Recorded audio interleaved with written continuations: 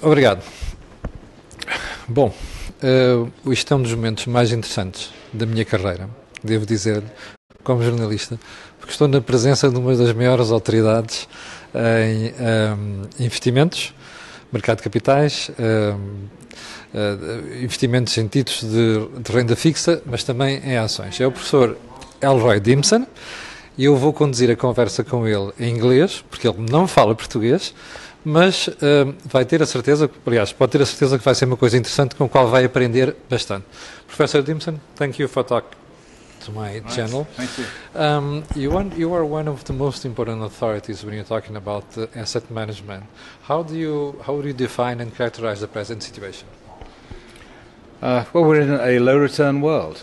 Um, it's pretty clear if you analyze history that when uh, risk-free returns are low, the subsequent returns on all assets tend to be lower than average. So it makes us it, it makes our acti uh, activity in this in this industry very tough um, to make money on a real uh, on a low return world. Uh, it creates challenges both for investors and for investment managers. So, for investors, for asset owners, the challenge is that there is going to be less in the future, probably. You know, we, we predictions are always a little bit dangerous, but over the long term future, uh, the world is going to be more challenged. And uh, what that means is that if there is uh, a lucky period, a period where there's uh, high returns, you should be hanging on to some of that and not spending it. And for investment managers, uh, well, the world is very different. Uh, if you go back uh, to the early parts of the 21st century, then there were relatively high expected returns and so you could charge fees which would be a proportion of those returns, yes. and there's still quite a lot left for the investor. Uh, now there's a lot of pressure on fees, partly because everybody knows that uh, there just isn't room to charge really high returns unless the investor is getting something very special in return part of the industry, especially some, especially some uh, asset managers with whom we talk, they say that you know the, the good times will be back. So they expect int high interest rates to be back. Do you believe that?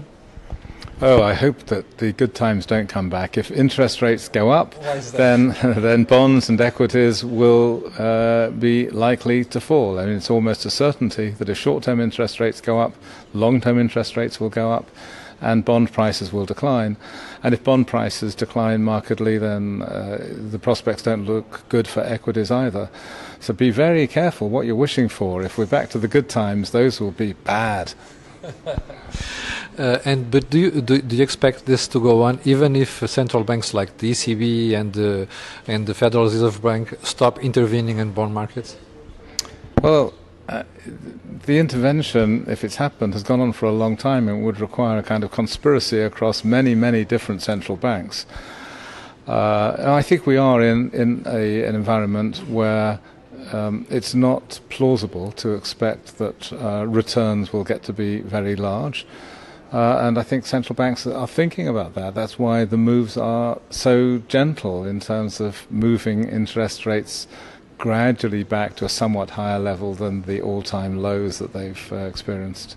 Professor Dimson, there are millions of people literally uh, losing money where, because they are either investing in, uh, in, in, deposits or even low return bonds. So why aren't there more people uh, betting on the stock market? in uh, terms of equities, of course. Well, I mean, some, some people think that uh, when risk free investments are giving such a low return that the solution is to invest in equities.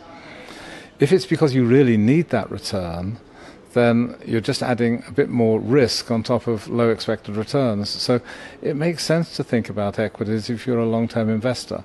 So if you are a 70 year old pensioner, dissatisfied with getting a remarkably low interest rate on some cash that's being saved in the bank, sticking money into equities doesn't feel uh, very safe either. I mean, they're in a difficult position, but it's not solved by going for uh, assets that give a higher expected return because they have higher risk.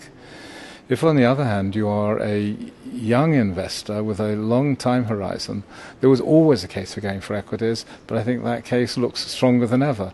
That uh, you, you, know, you, you uh, can uh, have a chance to catch up by working harder, working longer hours uh, if, if, if, things don't work out. So, equities would make sense for younger people. Yeah. Would you say that a for a value investment, a long term investment would be safe?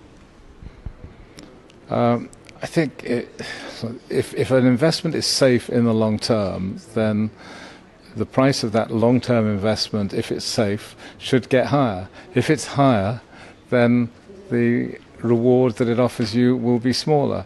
So I, I, I'm very uncomfortable with pronouncing anything as being safe.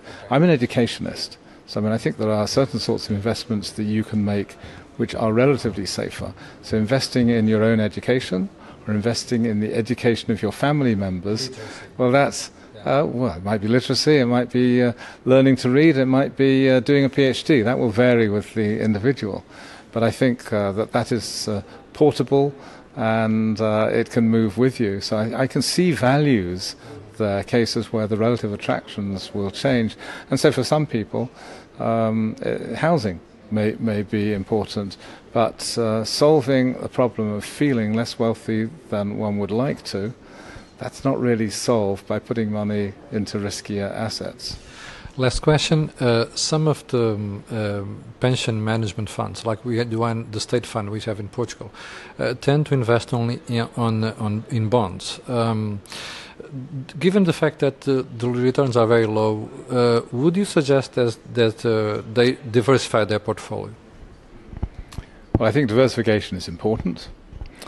I think some people are deluded into thinking about uh, asset returns based on the last 10 or 20 or 30 years. And of course, bonds have gone well over that period. They've done well because interest rates went down and people therefore were willing to pay a larger price for bonds. That can't happen again. Real interest rates now are round about zero. That is, inflation adjusted rates around about zero. Um, they're very unlikely to move towards being minus 10 or minus 15 percent. So the move from 10 or 15 or 20% interest rates to zero gave a big reward. But looking forward, we know what they will offer. Um, and and it's low. So it does seem to me to be imprudent to be very heavily exposed to fixed income markets for most investors. Professor Dimson, thank you very much for talking to my, Color of Money. Pleasure. Thank you, and good luck. Review your site, uh, regard this as being interesting. Thank you very much. Thank you very much. Bom, então ficamos por aqui na conversa com o professor Dimson. Eu tenho aqui, o meu cameraman hoje é o Pedro, é, é um dos responsáveis da Casa de Investimentos e é ele que eu vou pedir para, para fechar ali o, o vídeo. Muito obrigado, Pedro. Muito obrigado por estar desse lado.